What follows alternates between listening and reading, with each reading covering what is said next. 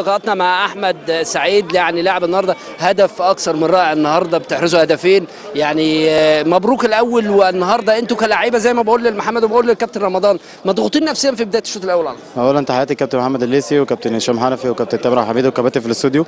وبحب أشكرهم على يعني هم الصراحه مدينا حقنا وزيادة شوية.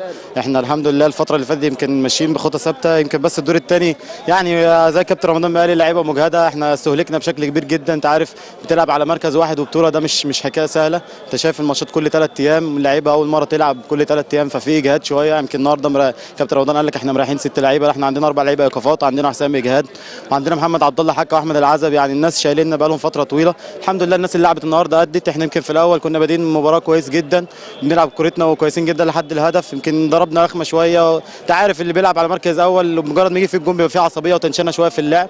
يعني دخلنا بين اشتري كابتن رمضان اللعيبه تهدى والعبوا كورتكم عادي. إحنا الحمد لله يعني واثقين في نفسنا كنت كده بطريقة سهلة. لا لا هو لازم يتعصب يعني الموقف مش مستحمل الصراحه يعني الفريق كان تمام نقط كان يعني كنا النهارده يمكن كان لو كسبنا كنا خلاص نبقى نصعد دوري ممتاز. إحنا حطينا نفسنا في موقف صعب والحمد لله إحنا لعيبة كبار وقادرين ان إحنا نخرج من الموقف ده.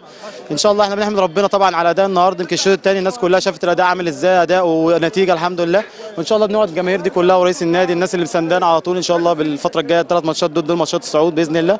وإن شاء الله نقدر ناخدهم الثلاث ماتشات بإذن الله ونحقق حلمنا كلنا بإذن الله. يعني شايف تراجع في اله- هزايم ثم تعادلات شايف ده سبب ان أنتوا فكرتوا في الدوري الممتاز خلاص أنتوا صعدتوا والكلام ده؟ لا والله انت طبعا انت بتلعب لآخر دقيقة بس يمكن إحنا أنا زي ما قلت لك الإجهاد والضغط النفسي على اللعيبة فحس إن هم ارتاحوا شوية. يمكن ال drop اللي حصل في أي فرقة في العالم بيحصل لها drop في فتره إحنا حصل لنا ال drop في الفترة الاخيره بنحمد ربنا إن إحنا يعني إن شاء الله نلحق نلم نفسنا تاني.